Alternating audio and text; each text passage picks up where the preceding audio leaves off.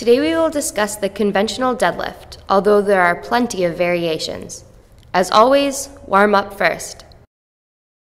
Practicing proper lifting technique and developing strength are two ways to stay safer when you are moving heavy boxes, picking up cutlery, or doing anything else outside of the gym. Load the bar with the amount of weight that you intend to lift.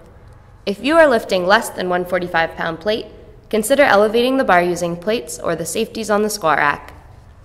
Walk up to the bar. Stand with your feet hip width apart. The bar should appear to intersect with your feet. Grab it. Many grips are used by people who deadlift, but you can start with double overhand to keep it simple and develop your grip strength. Another grip that could be used is the mixed grip.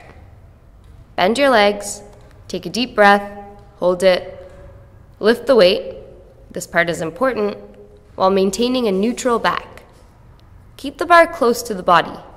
Stand up straight and lock out, but do not lean back, as this can result in hyperextension.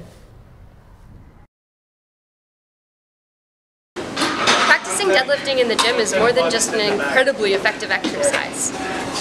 Any time that you lift dead weight, you're deadlifting. A heavy box that needs to be moved, deadlifting. When you deadlift, you engage essentially your whole body. Your lower back, hamstrings, glutes, traps, quads, calves, mid back,